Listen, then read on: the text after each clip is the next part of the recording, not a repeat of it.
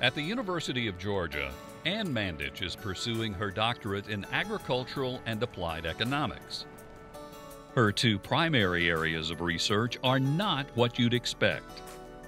So overall, I consider myself an applied health economist. Specifically, I'm studying vaccine safety and people's perceptions of vaccines, as well as the nursing labor supply. So in the next 20 years, half of the nurses in the US are set to reach the traditional retirement age. So my research is looking at why this phenomenon has happened. Looking at wages over time, we can see if we're creating the correct incentives for people to enter nursing, i.e. if you pay them, they will come.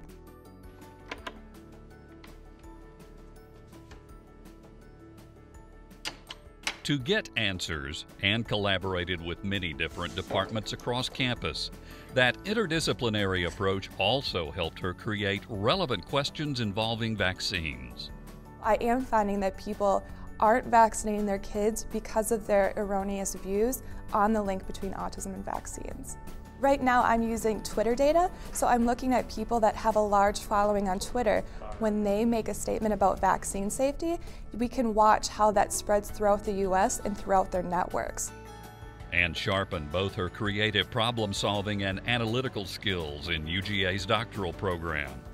One of the best skills that I've taken away from this program is my quantitative training. In economics, I've essentially learned this toolbox of both statistics and econometric skills that I can now apply to any research question that I so desire. Will Thompson turned his doctoral sights to a place far away, Nepal.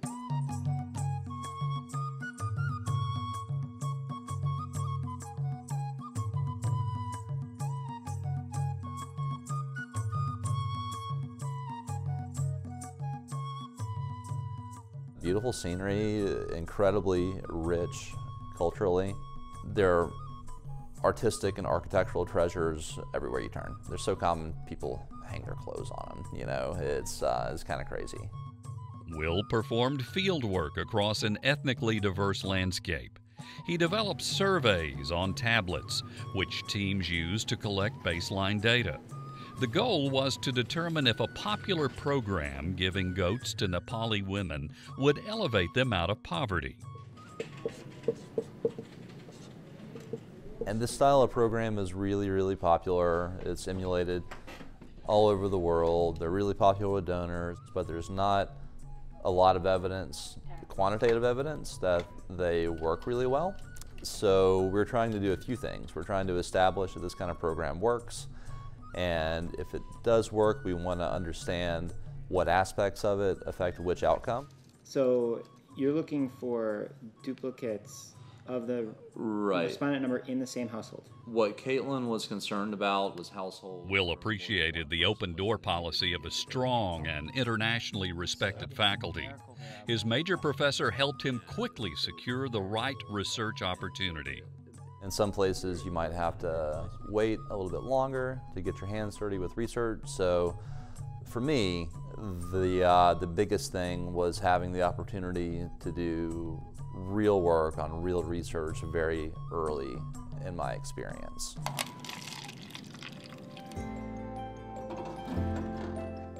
Ting Ma came from China to pursue her doctorate at UGA.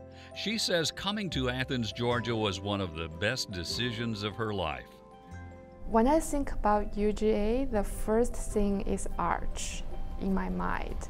And when I look at the pictures, I always feel there is a moment I want to cry. we all like a family and we help each other. And if here you can feel we can do everything. Ting's doctoral work focused on the West African nation of Ghana. They have very fast economic growth, so we want to look at their food consumption patterns. There may be some international, like food chain, they can come there. Ting's research could also be used by international aid agencies.